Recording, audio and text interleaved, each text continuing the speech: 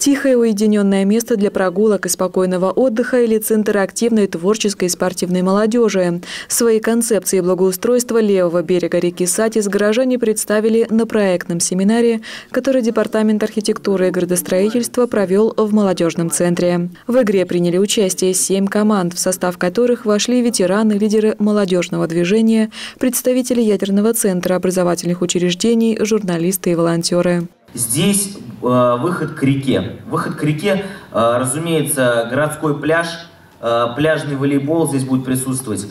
Недалеко будут располагаться игровые площадки, да, то есть мы пришли детишек туда, сами сюда, развлекаемся, веселимся, играем в стритбол.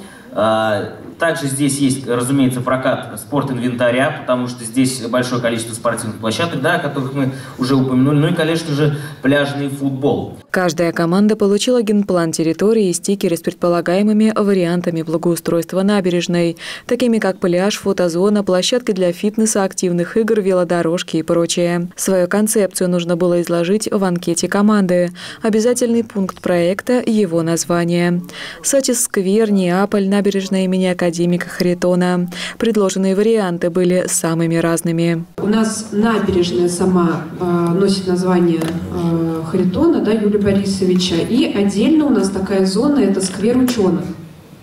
Сказали. Мы сначала, кстати, когда рассматривали набережную, мы немножко забыли вот про этот уголок, так сказать. Да, потом обратили на него внимание и подумали, что это будет отличным продолжением зоны э, как раз вот этой интеллектуальной дома ученых, да, вот этого Итеровского поселка. Территорию для благоустройства выбрали путем голосования. Среди вариантов была городская площадь и лыжная база. 40% голосов саровчане отдали именно набережной, а значит, эта территория сможет преобразиться за счет федерального бюджета. Проект благоустройства представят на всероссийский конкурс «Малые города и исторические поселения». Предложенные командами варианты по функциональному зонированию территории могут войти в конкурсную заявку.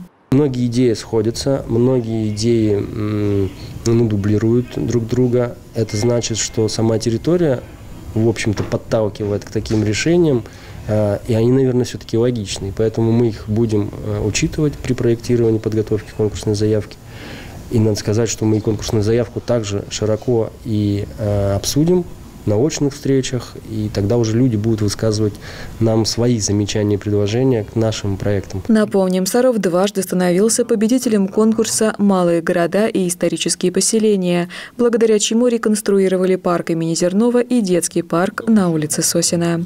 Анна Пелепец, Константин Островский, Сергей Рябов, Служба новостей Саров, 24.